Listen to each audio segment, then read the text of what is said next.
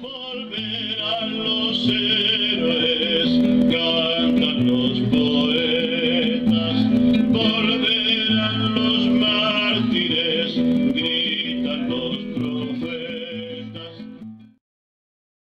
Estamos eh, luchando con esto de, de hemodinámica, radioterapia y dinámica.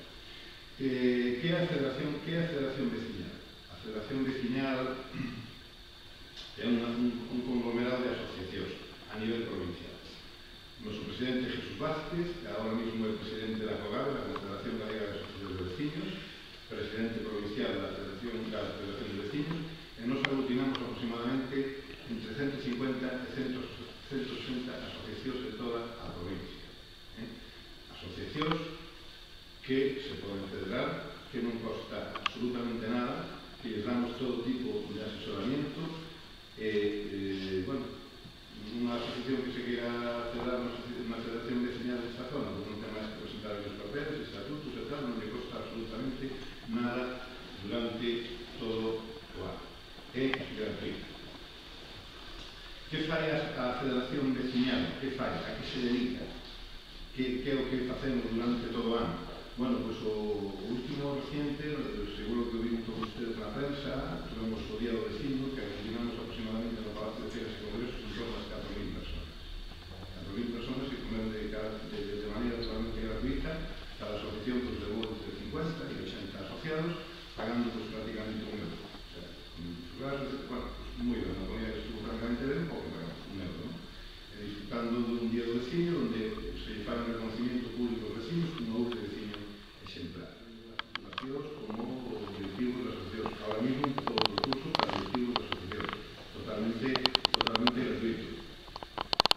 subvencións, todas as subvencións que salen da Diputación, todas as subvencións que salen dos concellos, bueno, pois hai unha persona responsable, que máis fai? Que máis fai a Federación Veciñal?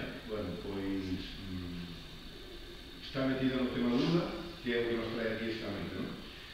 Recollida de firmas por acción de pago, estamos nos desaficionamentos no ayuntamento, eu son o estamos, bueno, en todo Catañe, os vecinos, en toda a problemática de Suñal, ahora recientemente tamén me diría a prensa, pues, o tema do parking Buda, o tema dos gorillas, que tamén salimos, non temos que aquí metido, pero bueno, votaremos. Estamos en todas estas cousas que atañen a, aos vecinos, ali estamos. Cando nos chaman a solución un problema de un sitio determinado, pues, temos que ir ali, como se sabe que eh, 2.000 censos non viaxarían máis a Coruña por temas de infartos, temas de, de temas de realidade. Eh, pasados, pasados, pasados ese tema, non vou entrar porque non me traen ese tema. Pero sí podo decir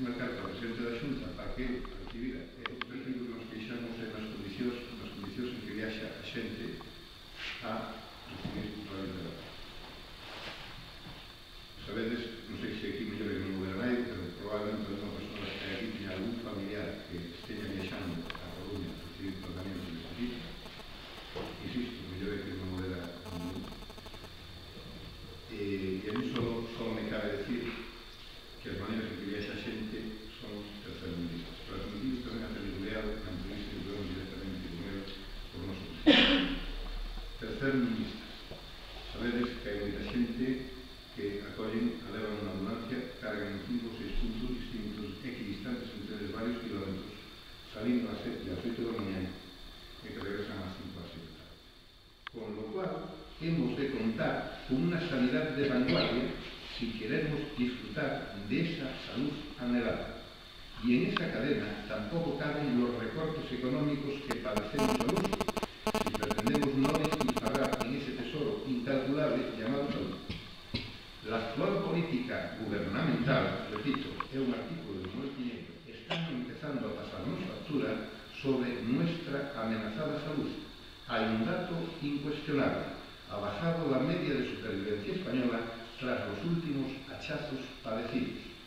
Y a eso se le llama jugar con nuestras propias vidas que son sagradas y cualquier gobierno tiene la obligación de proteger sin ambigüedad. Es un crimen contra la humanidad, se mide como se mide, y suena así, de duro y de andar con él, darle a los amigos a firmar, o no puede ser echado a cualquier sitio, de la vida porque si perdemos un Si perdemos un pie numerado, cascamos, e perdonade o término coloquial, cascamos a ILP. Cascamos a ILP. Cascamos os 30.000 filhos. Cumple o objetivo. Contou como anécdota, mira, temos ahora mismo 400, a primeira iniciativa que fixemos foi con 400 pies. 400 pies por 70 firmas, que van as firmas, concello, non lo explicaremos, isto ten 70 firmas. 70 por 400, 28.000 firmas.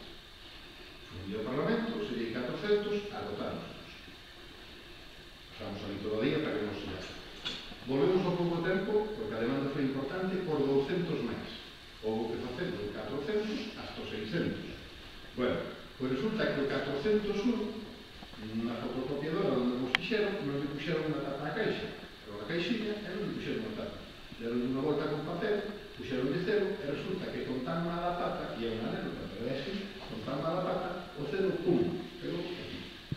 E cando fomos ao Parlamento para quitalo, con cuidadillo, tras, arrancou dúas letras, pero dúas outras letras, é que sería a palabra, o sea, quitou un pouquinho de tinta, se te eliminaras un pouquinho tal de lado lees a palabra.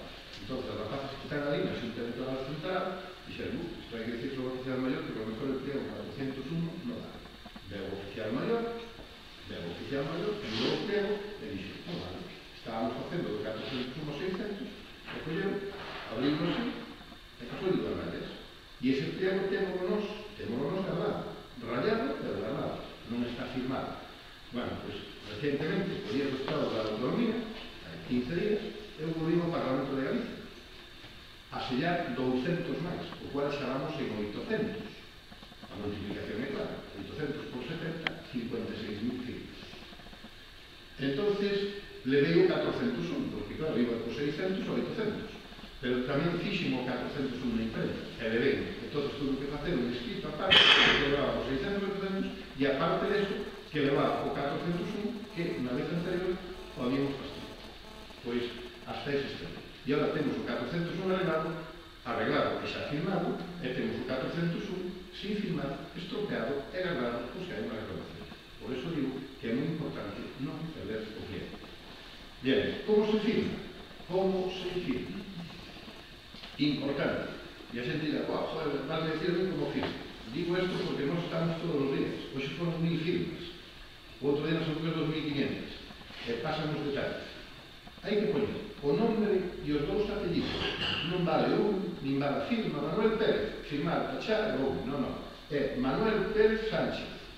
A continuación, o DNI, Os feitos números é caleta, Y, M, a O, sempre. A continuación, o concello onde estamos censados, porque estamos observando que unha xente, se non dices nada, por eso temos a voz tan cascada, porque cada persona dice, nome non me dos apellidos de mei, caleta, concello, tal, concello está censado. Oye, pero, te ponen xerugo, e a mellor están censados en peito.